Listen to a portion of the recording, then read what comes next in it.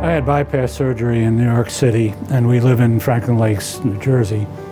And I needed a place to uh, have cardiac rehab.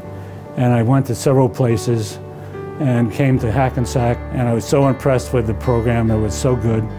And later on, we met a board member, and we needed a cardiologist here in New Jersey also.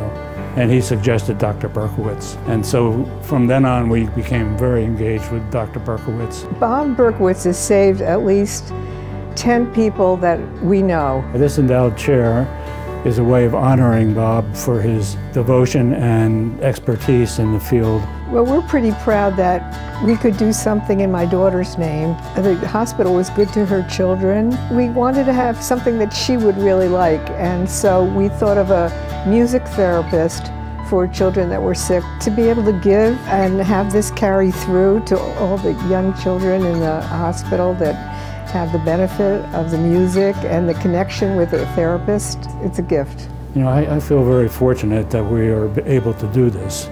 Not everybody can do this.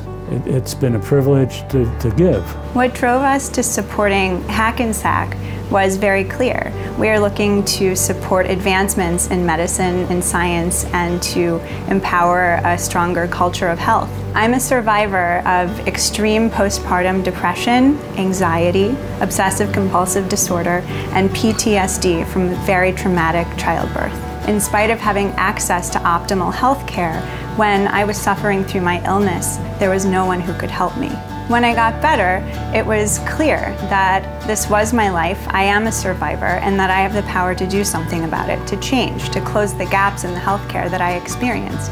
And with my background in science and brain science, but also in philanthropy and nonprofit management, it was really the perfect way for me to give and to motivate others to give.